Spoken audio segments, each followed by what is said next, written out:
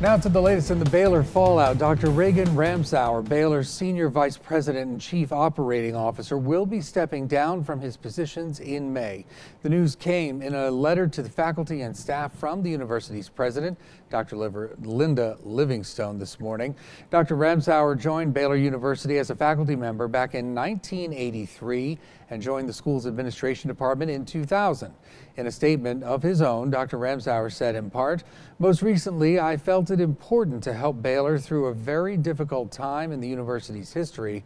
This is an institution that I love dearly and has uh, been a part of my family for many generations. With the hiring of President Livingstone, the door has opened for a new Baylor administration, and she has my full support and help as she leads the university into the future and rebuilds a fresh leadership team for Baylor.